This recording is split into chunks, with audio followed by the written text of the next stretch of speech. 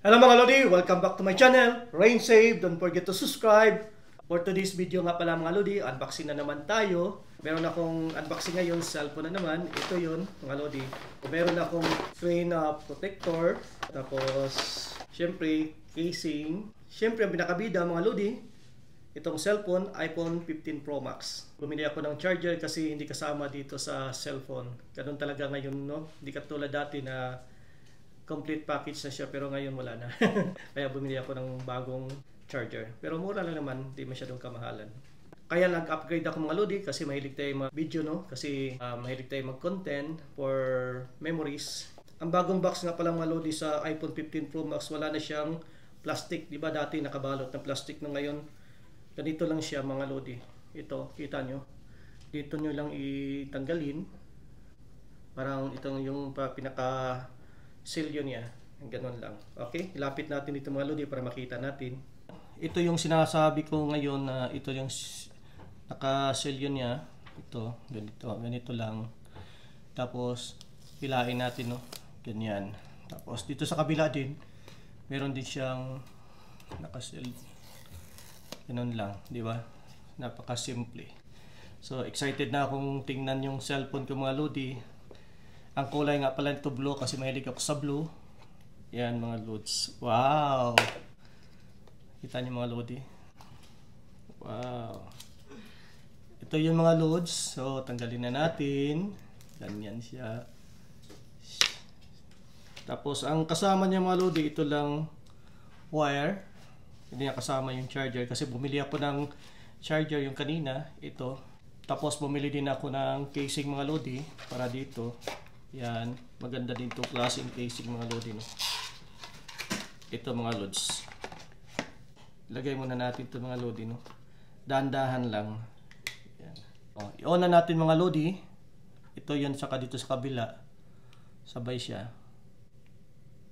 Yan. Lagay muna natin dyan. Kalagay siya. Hello! Mm, hello daw, hello.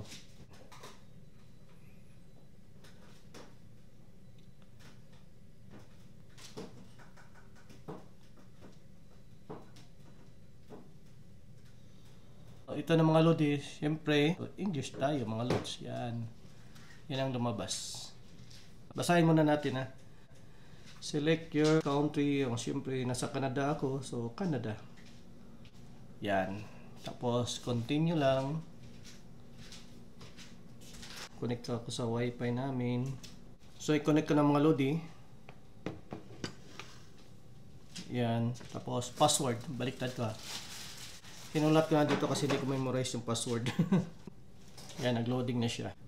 Continue. May nakasulat dito mga lodi. Basahin lang natin.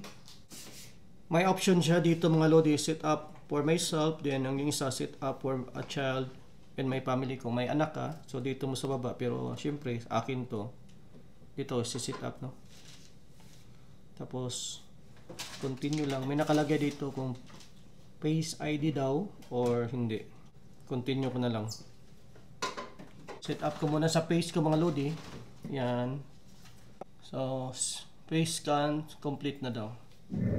Mga lodi, tapos ko na na-set up lahat. Hindi ko na napakita kanina. Pasensya na kasi gamit na cellphone ko na itong nakabidyo ako ngayon kasi hindi siya pwedeng gamitin dahil ang lahat ng mga files ko nasa isang cellphone nalipat dito kaya hindi ako nakapag-video mga lodi. Pero ito na yun ngayon mga lodi.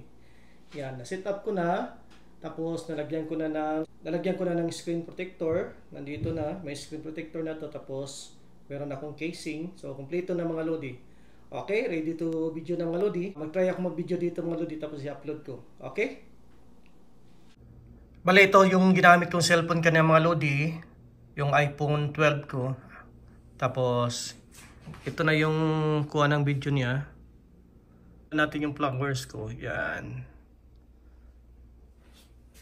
Pakaganda mga lodi, no? Maliwanag na maliwanag. Medyo makulimlim sa labas mga lodi. Ito na yung kuha niya mga lodi.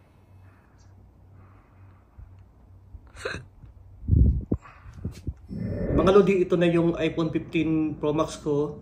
Ito nakabidyo ngayon. Try ako ng ilang videos dito sa loob at saka sa labas.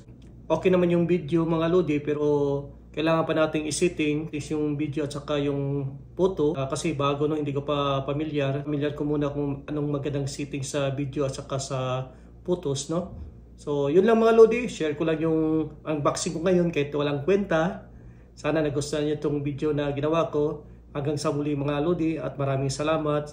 Bye bye for now see you next time. Babu! Bye bye